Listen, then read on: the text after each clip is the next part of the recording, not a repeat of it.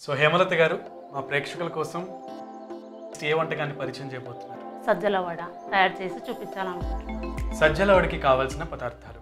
సజ్జల పిండి బెల్లం ఉల్లిపాయ కచ్చాపిచ్చిగా తరుముకున్న పేస్ట్ పచ్చిమిర్చి కొత్తిమీర పేస్ట్ ఉప్పు జీలకర్ర నూనె. సో సజ్జల వడికి కావాల్సిన పదార్థాలు ఏంటో చూసేసాం. హేమలత గారు మరి తయారు చేసి చూపిస్తారా? తప్పకుండా. ఫస్ట్ స్టవ్ వెలిగించుకొని. బాణి పెట్టి ఆయిల్ పోసుకుంటే సజ్జపిండి వేయించుకోవడానికి ఆయిల్ వేడెక్కుతుంది. సో వడ మునిగేంత వరకు ఆయిల్ పోసుకోవాలి. సహజంగా మనం బజ్జీలు వేసుకునేటప్పుడు ఎంత ఆయిల్ అయితే యూస్ చేస్తామో ఆ లెవెల్లోనే ఆయిల్ దీనికి కూడా ఉపయోగపడుతుంది. ఆయిల్ వేడెక్కే లోపల ఓకే. మనం బ్యాటర్ రెడీ చేసుకుందాము. సజ్జపిండి తీసుకొని ఒక బౌల్లో వేసుకొని. కొంచెం బెల్లం. ఓకే.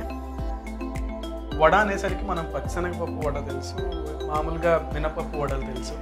సో కొత్తగా వింటున్నాం. సజ్జల వడ వేయడానికి అందులో సజ్జలు వాడడానికి గల ప్రధాన కారణం ఏంటి దాంట్లో ఫైబర్స్ కాల్షియము విటమిన్స్ ప్రోటీన్స్ ఎక్కువగా ఉన్నాయి. సో మంచి protein content with calcium and minerals. So మంచి హెల్తీ ఐటమ్ ఇది కూడా. ఇందాక కోకోనట్ మోమోస్ కూడా అట్లానే చేసాం. సో ఇప్పుడు సజ్జల వడ కూడా అంతే హెల్తీ ఐటమ్ అంట. అంటే సజ్జల పిండి ఎలా ఎలా చేశారు? సజ్జలు కడిగి ఆరబెట్టి పిండి చేసుకోవాలి. ఓకే. పిండి చేసుకొని ఆ పిండి ఇది. ఓకే. సో సజ్జల్ని జనరల్గా మనం మిక్సీలో వేయడం కాదండి పిండి మరలు ఉంటాయి కదా అందులో మనం బియ్య పిండిని ఎట్లా అయితే ఆడిస్తామో అట్లాగే సజ్జల పిండిని కూడా సజ్జల్ని తడిపి ఆరిన తర్వాత దాన్ని పిండి మరలో ఆడిస్తే అలా పొడి అవుతుంది ఇప్పుడు పచ్చిమిర్చి పేస్ట్ వేస్తున్నారు ఒక పచ్చిమిర్చి అందులో కొత్తిమీర కూడా. పచ్చిమిర్చి కొత్తిమీర. పచ్చా పచ్చగా చేసుకున్న ఉల్లిపాయ. Onion paste. సో ఉల్లిపాయని కంప్లీట్గా గ్రైండ్ చేయలేదు కచ్చా పచ్చిగా తురుముకున్నారు. ఆ తురుముకున్న ఉల్లిపాయ వేశారు. కొంచెం జీలకర్ర. జీలకర్ర జనరల్గా డైజెషన్ Digestion. ఉపయోగపడుతుంది. కొంచెం సాల్ట్. సాల్ట్ మీ రుచికి తగినపడినంత దీన్ని కొంచెం వాటర్ వేసి ఓకే. సో ఈ మిక్చర్ ఎలా ఉండాలి? అంటే చపాతీ పిండిలా పిండిలాగా టైట్గా ఉండాలి? చపాతి పిండి లాగా ఉండాలి. ఓకే. సో టైట్గానే ఉండాలి. మీ వారు ఏం చేస్తుంటారు? మీ పిల్లలు ఉన్నారా మా వారు రాయలసీమ ఆల్కాలిస్లో పర్చేజ్ ఆఫీసర్. ఓకే. ఓ ఆఫీసర్. నాకు ఇద్దరు బాబులు. ఇద్దరు బాబులు? ఏం చదువుతున్నారు? పెద్ద అబ్బాయి ఇన్ఫోసిస్లో జాబ్ చేస్తున్నాడు. Oh my god. రెండో అబ్బాయి? చిన్న అబ్బాయి బీటెక్ బయలుదేరి ఇంత పెద్ద పెద్ద పిల్లలు ఉన్నారా మీకు? సో పెద్ద అబ్బాయి ఏకంగా జాబ్ హోల్డర్ రెండో అబ్బాయి going to be a job holder పిండి అయితే కలిపేశారు. ఇలాంటి పాలిథిన్ కవర్ కానీ ప్లాస్టిక్ కవర్ కానీ తీసుకొని దీనికి ఆయిల్ పూసుకోవాలి. ఒక పాలిథిన్ కవర్ లాంటిది తీసుకుని మీ దగ్గర జనరల్గా కవర్స్ ఉంటాయి. సో అటువంటి కవర్ ఏదైనా తీసుకుని దాని మీద ఆయిల్ పోసుకోండి అంటకుండా. యా నెక్స్ట్ ఆయిల్ సో దీనికి టైం ఏం వెయిట్ చేయాల్సిన అవసరం లేదు. పిండి లేదు. పిండి కలిపిన వెంటనే మనం దాన్ని చక్కగా చపాతీలాగా వడల్లాగా ఒత్తేసుకోవచ్చు. ఆ పాలిథిన్ కవర్ మీదే చేయాలి అది లేదా ప్లాస్టిక్ కవర్ అయినా పర్లేదు. అతుక్కోకుండా దాని మీద ఆయిల్ రాసి చక్కగా అట్లా చేత్తో నాలుగు వేళ్ళతో అలా అద్దుకుంటూ ఉంటే చక్కగా వడ సైజు షేప్ షేప్లో వచ్చేస్తూ ఉంటుంది. ఓకే. ఇలానే అన్ని చేసుకోవాలి. ఓకే. సో ఆయిల్ బాగా కాలాలా లేదంటే లైట్గా కాలినా సరిపోతుంది? లేదు. డీప్ ఫ్రై చేయడం బాగానే లేకపోతే లోపల పచ్చిగా ఉంటుంది.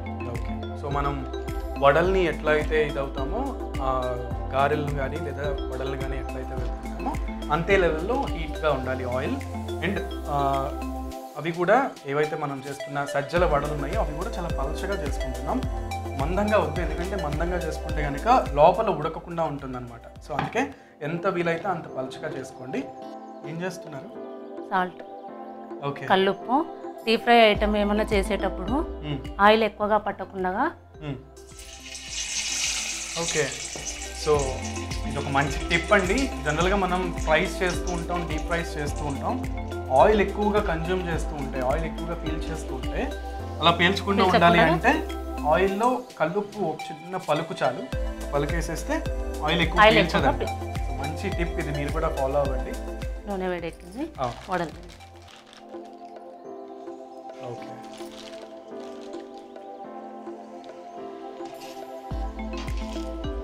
కలర్ మారేంత వరకు. వేయించుకోవాలి. సో వడలు అంటే జనరల్గా మనం బ్రౌనిష్ కలర్ వచ్చేదాకా చేస్తాము? ఇది బ్రౌనిష్ కలర్ అవసరం లేదు. గోల్డెన్ బ్రౌన్ కలర్ వస్తే సరిపోతుందా? సో జనరల్గా వడలకి మనం బాగా బ్రౌనిష్ కలర్ వచ్చేదాకా వేయిస్తూ ఉంటాం. పచ్చనగపప్పు కానివ్వండి లేదా గారెలు కూడా అంతే. వైటిష్ బ్రౌన్ కలర్లో వచ్చేంత వరకు వేయిస్తాం. మరి ఇవేళ దీనికి అంత అవసరం లేదు. అప్పుడే కలర్ కొంచెం లైట్ కలర్ ఈ కలర్ వచ్చేంత వరకు వేయించుకొని తీసేస్తాం సో ఆ గ్రీనిష్ కలర్లోనే మనం అంటే ఈ పచ్చిమిర్చిను అలాగే కొత్తిమీర మిక్చర్ చేసి వేసాం కదా ఆ గ్రీనిష్ కలర్ కనబడుతుంది. అండ్ ఎక్కువ కూడా డీప్ ఫ్రై చేయకూడదు. సో లైట్ గోల్డెన్ కలర్ వచ్చేసరికి దాన్ని మనం డిష్ అవుట్ చేయొచ్చు. ఇవి తీసి టిష్యూ పేపర్ మీద పెట్టేసుకుంటే ఓకే. ఫెస్టివల్స్ ఎలా జరుపుకుంటారు? ఫెస్టివల్ టైంలో అందరూ కలుస్తారా? గ్యాదరింగ్స్ ఉంటాయా? మా హస్బెండ్ వాళ్ళు ముగ్గురు బ్రదర్స్ అనమాట ఓకే. వాళ్ళు పెద్ద దసరాకి సంక్రాంతికి మేము. అక్కడన్నా పోవడం కానీ వాళ్ళు మా దగ్గరికి రావడం. రావడం కానీ జరుగుతుంది సో ఉమ్మడి కుటుంబం కలిసి అన్ని పండుగలు జరుపుకుంటారు అనమాట సో మొత్తం అంతా కూడా పెద్ద జాయింట్ ఫ్యామిలీ. లెక్కన ఫెస్టివల్స్ అన్ని కూడా చాలా బాగా జరుపుకుంటారు. ఈ లెక్కన ఫెస్టివల్ వచ్చిందంటే మీ ఇంట్లో పిండి వంటలు గంపలు గంపలు తయారవుతాయి అనమాట అంటే ఎంతసేపు పడుద్ది కరెక్ట్గా? అంటే ఆయిల్ కరెక్ట్గా హీట్ అయితే ఎంతసేపట్లో ఒక టెన్ మినిట్స్ పడుతుంది ఎందుకంటే పిండి ఇది ఇది ఉంటుంది కదా. ఓకే పచ్చదనం పోయింది అని ఎలా తెలుసుకోవచ్చు ఇదో కలర్ మారుతుంది సో ఈ కలర్ మారితే పోయినట్టు. సో గోల్డెన్ కలర్ వచ్చేంత వరకు కూడా వేయించుకోవాలి. ఇవి కూడా వేగిపోయాయి సో మొత్తానికి హేమలత గారు వడలు అయిపోయినట్టున్నాయి. వడలు అయిపోయినాయి. డిష్ అవుట్ చేసుకుంటాం ఓకే. సో డిష్ అవుట్ చేసుకోవడానికి కూడా మంచిగా డెకరేట్ చేశారు.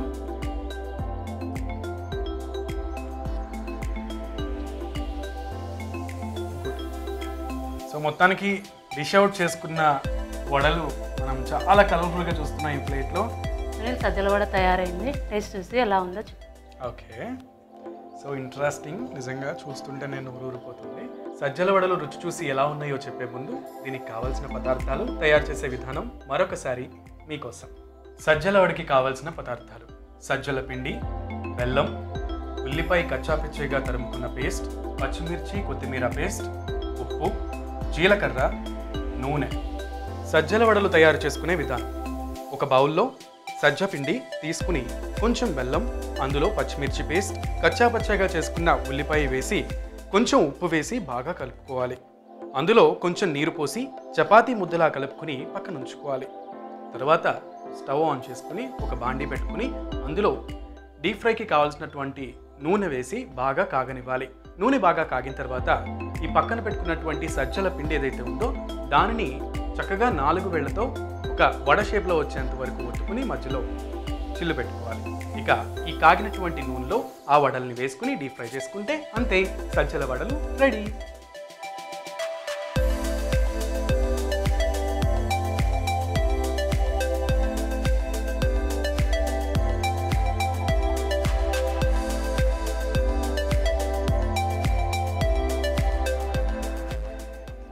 కదా తయారైంది. టేస్ట్ చూస్తే ఎలా ఉందో షూర్ ఖచ్చితంగా. చాలా ఇంట్రెస్టింగ్ ఉంది డెకరేషన్ కూడా. సో ఖచ్చితంగా టేస్ట్ చూసి చెప్తాను. కానీ మీరు కూడా నాతో పాటు టేస్ట్ చేయండి. సో ఫస్ట్ పించ్ మీకే ఇస్తాను. విషయం ఏంటంటే క్రిస్టల్ సాల్ట్ ఏదైతే ఆయిల్లో వేశారు కదా చూశారు కదా ఇది? నాట్ ఈవెన్ ఒక్క డ్రాప్ ఆఫ్ ఆయిల్ కూడా నా వేలికి లేదు. నేను తిన్నాను. చాలా బెస్ట్ టిప్ ఇది నిజంగా. సో ఆయిల్ అనేది పీల్చలేదన్నమాట అనమాట టేస్ట్ చేసేస్తున్నాను. సజ్జల వడలు ఎలా ఉన్నాయో. ఏదైతే పచ్చిమిర్చి పేస్ట్ ఉందో ఘాటు తగులుతుంది అండ్ బెల్లం టేస్ట్ తెలుస్తుంది. చాలా బాగుంది. మీరు కూడా ఖచ్చితంగా ట్రై చేయండి.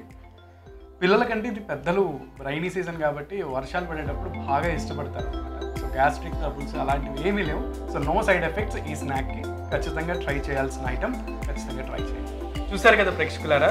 ఇది ఇవాళ ప్రత్యేకమైన రుచి కార్యక్రమంలో ఒకటి కోకోనట్ జ్యూస్ రెండోది సంచలనం. ఈ రెండు కూడా హెల్త్కి చాలా మంచివి.